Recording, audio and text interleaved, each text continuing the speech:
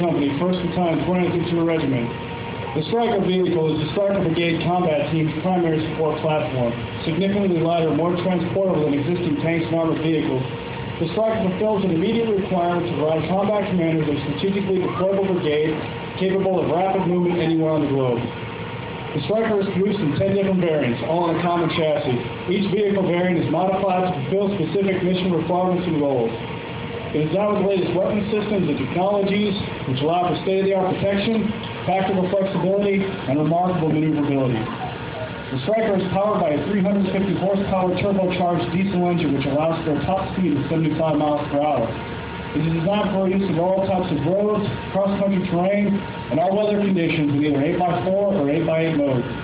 Mobility is further enhanced with a central tire inflation system, power steering, anti-lock braking system, and tires with flat liners. All Stryker variants are protected by three levels of armor. Level 1 armor consists of the hull, a high hard steel structure which provides protection for crew and occupants from small arms up to 7.62 millimeters. Level 2 armor consists of bolt-on, space laminated ceramic composite tiles which provide 14.5 millimeter armor piercing wraparound protection and 152 millimeter airburst protection.